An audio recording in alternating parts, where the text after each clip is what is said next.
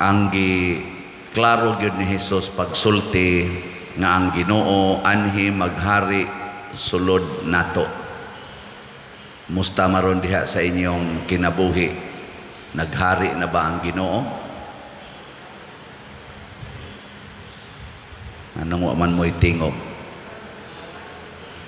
Dili day na siya lugar, dili sad na siya tao, dili sad na siya butang ang paghari sa Ginoo. Dinhis kalibutan ba? Apan ang paghari sa Ginoo naa sulod nato. Muna nga ang iyang gusto makakita tagiunsa niya pagpuyo dinhis kinabuhi nato sa kalibutan aron kahibaw ta unsay mga timaan nga naghari na ang Ginoo giunsa man pagpuyo ni Kristo iyang giuna gyud pagpuyo ang kinabuhi sa paghigugma kana gyung gugma. Kay ang gugma manggod dili na siya makita dito sa gawas o asang dapita. Ang gugma ni ana sulod nato. Nya makita ng gugma basta imo nang ipaambit ang mga buhat sa gugma. Kumusta man ron naghigugmaay mo. Kamong mga ginikanan nahigugma mo sa inyong mga anak. Di mo mga saba nila. Di mo manglatos oh niya buhat din as gugma kanang pangasaba kanang pagpanglatos. Kinsa may naghari ni mo ron? Di ba? Ang kaisog niya ato ra ba din ang titulan og disiplina? Atong disiplinahon pader. Kay kung dili nato latosod di nato yaw-yawan. Sus ragid sa siging yang pungad anang cellphone kana yung cellphone. No, sa una sad kami kanang radyo radyo tos bukid ba? Sige na lang paminaw anang radyo ang uban sad og arang-arang pagkabutang sige na lang tan-aw anang TV sige na lang tan-aw anang TV kadto sa makapalit atong mga atong duwa-duwa sa una katubang break game break game ana katong mga unggoy-unggoy nga magsigig sao ana mga apple. Adto na lang magsigig duwa dito ang akong anak. May giyong latuson aron mapanton. Porting tapulana. Nya karon kay cellphone naman. Perting cellphone. Ah, sakto na mao ba nay disiplina nga imong latuson imong kasab-an mga maestra magsigig ingon, sus lahi na giro mga bata, di na maminaw. Mga wa na tahod sa maestra. At tinuod man, wa magani tahod sa pare. Pero mao ba na ang disiplina nga gusto ni Kristo? Dili. Ang gusto ni Kristo paharia ang Ginoo sa ilang kasing-kasing. Sudli sila Ginoo. Di mangutana ko ninyo, kinsay nagpalit sa radyo nga mo'y nabuangan sa mga bata. Kinsay nagpalit?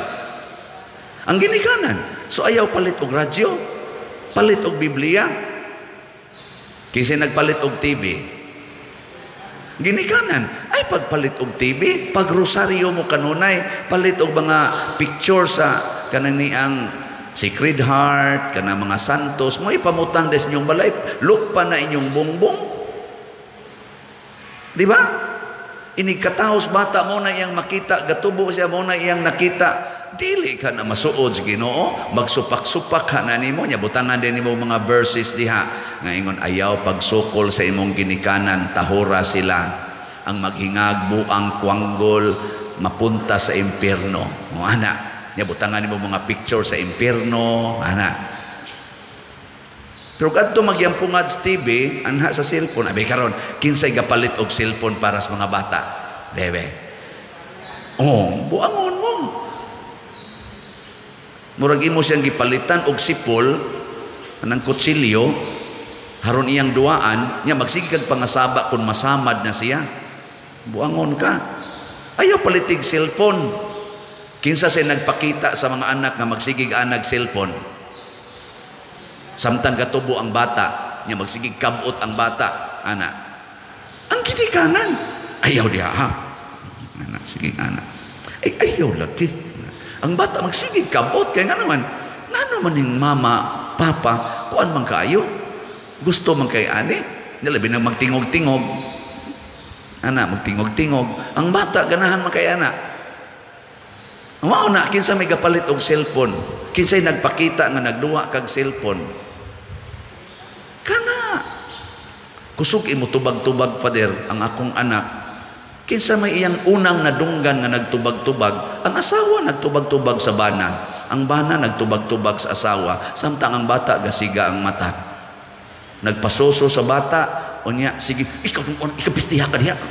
Niya ang bata ang naminaw. Di ka tumupistisag. Ha, mao na ingos Kristo ang paghari sa Dios di as kasing-kasing. Pasabot, ikaw ginikanan, ako nga pare, kita nga mga leaders, mga political leaders, o mga church leaders, sudla natog ginoo ang atong kasing-kasing, kanang mga tao palibot nato, masudlan sa ginoo. Muna si San Pablo sa unang pagbasa, iyang giingnan si Filimon. Kini si Onesimo, para nimos unawa ni kapuslanan, Imo gani ning gipapriso, maong nagkita mi diri prisuhan, pero ako ning iuli nimo nga bag-o ng tao. Ako dani siyang anak. Pasabot dito sa prisuhan, gisudlan ni Pablo o Ginoo ang kasing-kasing ni Onesimo nga kaniadto sigihag kasaba, sigihag akyos ni Pilimon, gipapriso tungod sa utang. Di ba? Nama inyong ikiha? Ikiha ninyo? Tungod sa utang? Mo to nagkita sila ito. O sa gibutang ni San Pablo, kung nakautang ni siya nimo, ako'y paningli, ako'y bayad. Dili ka mausab ang tao inig-ingon ni San Pablo na kay utang des imong amo sa so, maunang na priso ko diri uh, New York kay kuan manggod ang ako manggong amo ba? Suko kayong ako kabayad sa utang. Uh, priso ko ah ako'y bayad ana. Suod ba mi anang imong amo? Kay kuan man kayo si Pil, si Pilimon ni Pablo tahod man kayo. Agi suwatan ni Pablo ako'y bayad sa iyang utang. Nya ako ning gibalik nimo kani adto tingali kontra ni nimo karon isipa na siyang Ginoo. Isipa siyang igsuo nimo diha sa Ginoo isipa siya nga maoy akong representative. Kay ako sad representative sa ko ni Kristo. Ninduta ana ano? Nausab si Pilimon.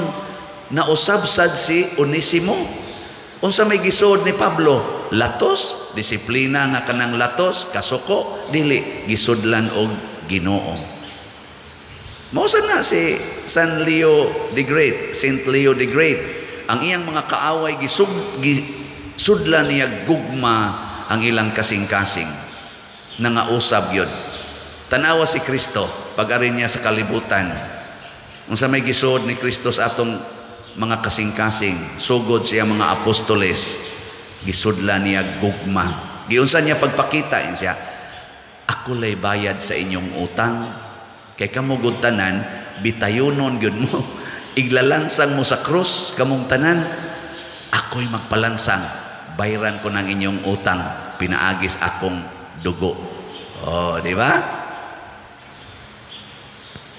Ano man mo malipay? Ha? Sige. Lingian na imong tupad. Ing na, okay ra nimo ikay mo bayad sa akong utang. Sige. Pangutan na ba? Ana imong tupad ba na okay ra nimo ako'y bayad, ikay bayad sa akong utang? Mingon siya, dili ka, oy baliha ka na. Ikaw kay bayad sa akong utang? Kani usalan ni sa akong mga sikreto nga akong isulti ninyo aron sad mo makahibaw kining tanan nga atong gidawat dinhi nga personnel sa atong parokya anang staff ba nako ba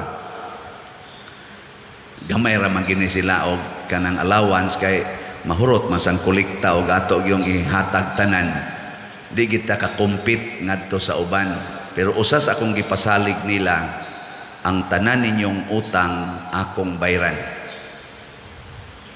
Ya, sunod na yung kondisyon, ayaw na gid mo pangutang nga di mo magpahibaw nako. Makahibaw gani kung mangutang pa mo nga di mo magpahibaw nako, magbuwag-buwag ta dinhi. Pero ang inyong tanang utang, bayran gina nako. O pangutana mo nila kaning atong personnel. Wa na na sila utang. Gawas lang sa wa nila gitugan nako. Hasta pagong ilang mga karaang utang nga nanay mga sisiba. Kana bang dugay na kayo ito? Ang uban gani mura nagnalimtan.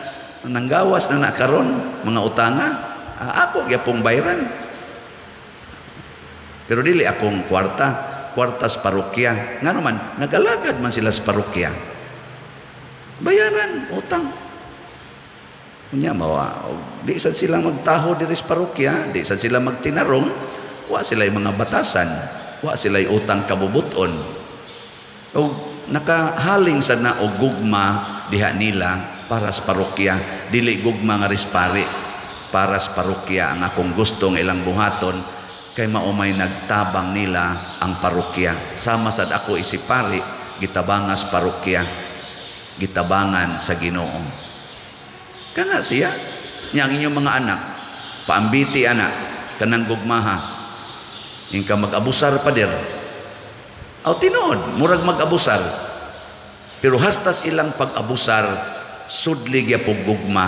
Muna si Kristo giabusaran gibudhian ni Judas hasta ang pagbudhi ni Judas gihigugma ni Kristo unsay resulta naghikog si Judas gipamakak siya ni San Pedro. Hasta ang pagpamakak ni San Pedro gihigugma ni Kristo. Unsay resulta na transform si San Pedro ug nagpakamatay para ni Kristo. Giabusaran ang mga sumusunod ni Kristo gipanglutos gipangpatay ni San Pablo.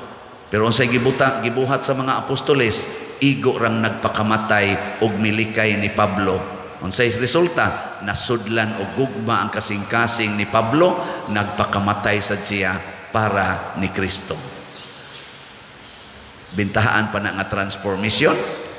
Tistingi imong anak, kanang tapulan kaayo, sigihig alagad, nya ampo kanunay, nya antosi gina kanang alag an sana ampo alagad og antos ihatag nas imong anak di dang tagdugay mahimo gyud ang liwat nimo kusog sad nga mo ampo kusog sad mo alagad kusog sad nga mo antos ug unsa may pagantos nga una nimong ihatag sa imong anak ayaw na mo paggamit og cellphone o kung mo gamit man kag cellphone dito las imong opisina dito sa imong trabahoan dihas balay why cellphone Antos no. O mo na antos. Mingong anak ma, asa na dayang cellphone? Ingka, wa na diris balay. Ang TV ba? Gibaligya na. Wala maon sa may itong tanahon. Di ay Biblia. Mag-antos man sa taan ma. Dungan tag-antos dong. Ana, imong ba imong anak adto ko silingan ma. Oh, dili man na maayo. Ah, magtumas gusto adto silingan kay mutan og TV adtos kompyuteran magduwa. Ah, imo lang sang antuson. Iniguli na sa inyo, wa gyapon cellphone, wa TV ana. Nya may kay kang muhigugma niya. Mahibong lang ka. Human sa 15 ka tuig, liwat na na nimo. 15 ka tuig. Di di mo kasustinira na. Adi mo? ah, sige, mo na tong 40 ka tuig, maliwat gina nimo. Basta lagi, dutlan gina. Huwag mo na nga niingon si San Pablo sa lain niya mga sulat, ang nagpugas og jutay, muani og jutay. Ang nagpugas og daghan, muani sa daghan. May magsigingon ako, padir nganong sikat naman kay kakaron.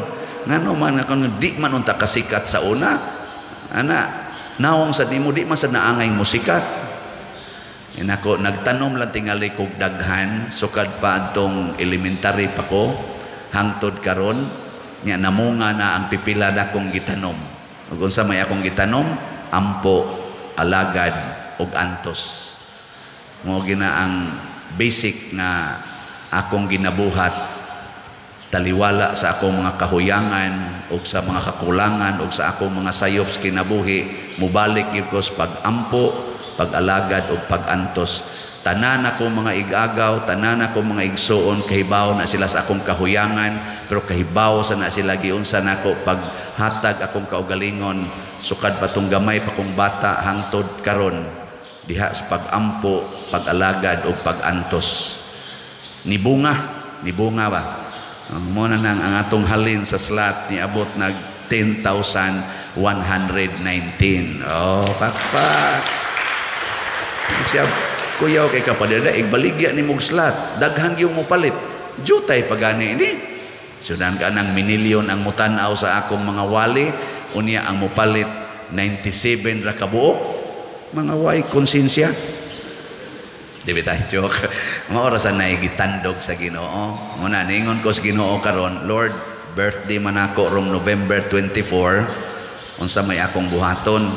Siya nga, i-announce lang nga dili ka mudawat og gift nga kana mga t-shirt kadaghan na kaana ana mga unsa pa diya mga sapatos na ana maka-afford ra pud kaana ang ihatag yun nila pagpalit og slot kay tukorono ni natong atong kumbinto. Oh, mo na akong i-announce ninyo kung gusto mo muhatag na kog birthday gift, palit mo og slot. Labing minus usa lang ka slot. Kamong tanan nga nakauyon sa akong pagpaambit ninyo sa akong kinabuhi, palit mo bisag usa lang ka slot. That is your birthday gift to me. Because I belong to the church, I serve the church, and the church kaning San Vicente Ferrer Parish needs you. Nagkinahanglan aron matukod ang atong bag-ong kumbinto nga nag-budget og mga 40 million. Napatay 10 million. Ang kuwang na lang 30 hutda na ninyo palit kutob karong 24 antuson ko nagdawat ah, di ba di gid na nakukuhaan bisag 1 centavo idapat gina nato tanan sa atong proyekto di masan ni ako Mubiya raman ko diri, maesos, pila na lang katuig, wagi siguro ugma biya na ko diri. Eh, mukalit raman kamatay ang pari karon. Ah, Father John lang nabalis, nagihaya pa man na. Nagsigi pagplano sa konsekresyon sa iyang altar. Siging plano karong 14 i-consecrate ng iyang simbahan. Oy, pagkaugma day, tuyod na day siya. Muna ang ako, nisulti ko ninyo, kay ang paghari sa Dios naa sa atong kasing-kasing ang nahigugma sa simbahan mutabang gyud sa simbahan kung nahigugma mo sa simbahan palit mo slot ug suklian mo sa Ginoo sa dili masukod nga kalipay kalinaw ug katagbawan bisan taliwala sa krisis sa kalibutan taliwala sa mga kasakit sa atong kinabuhi karon